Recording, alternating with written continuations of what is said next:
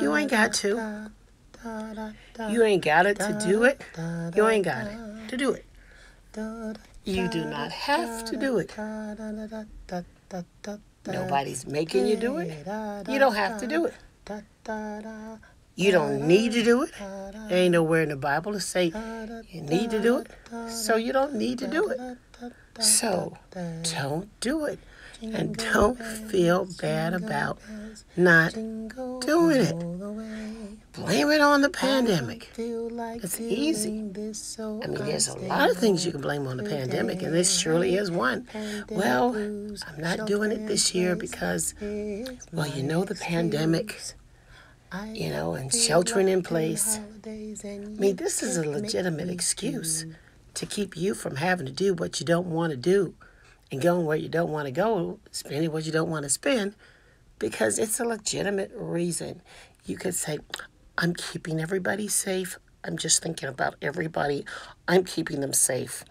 So I'm not going into the department stores and spending all that money, just even exchanging money of the germs and all that. I'm just thinking about keeping people safe. And if I keep me safe, I can help keep people safe. Really. So that's why I'm going to have a bare bones holiday. And I'm just going to send love. you can just say that. I'm sending you love. And it doesn't cost a thing. And I don't have to be in your face, face to send it, especially now because of the pandemic. You can send love in the form of a prayer, well wishes, a card, call, forgiveness, small acts of kindness, like allowing people to be themselves without judgment and your criticism. That's an act of kindness. You can stop talking about people behind their back.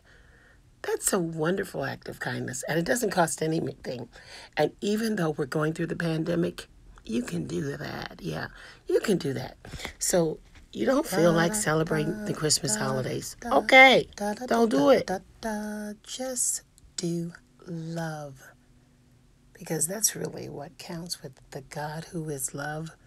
This holiday, make it all about God. Show love, share love, be love.